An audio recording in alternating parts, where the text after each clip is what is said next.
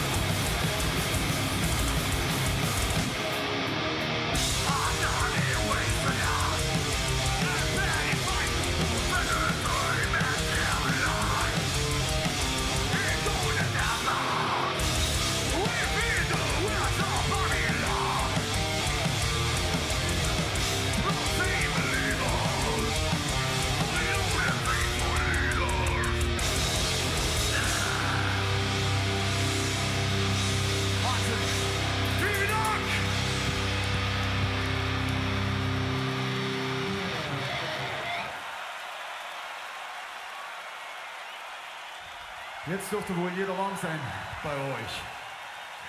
Am besten ihr habt es aufgenommen bei euch zu Hause und schickt uns das einfach mal zu. Das würde mich sehr interessieren. Sehr gut. Okay, und da kommen wir auch schon langsam zum Ende und möchten uns natürlich nochmal herzlich bedanken, dass wir an diesem tollen Projekt, hier dran teilhaben können. Wacken Worldwide. Alle, die dazu beigetragen haben, alle Techniker, alle Lichtmänner, Soundleute und und und, wie auch immer. Vielen, vielen Dank.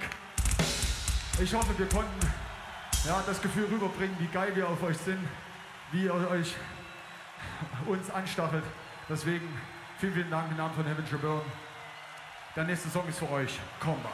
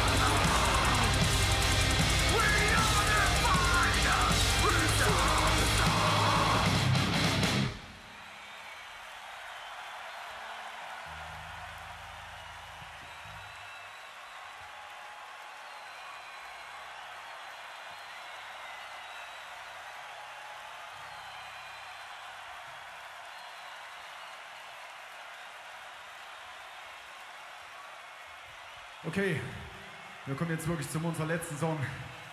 Und damit sagen wir Tschüss, vielen Dank und gibt nochmal alles zu Black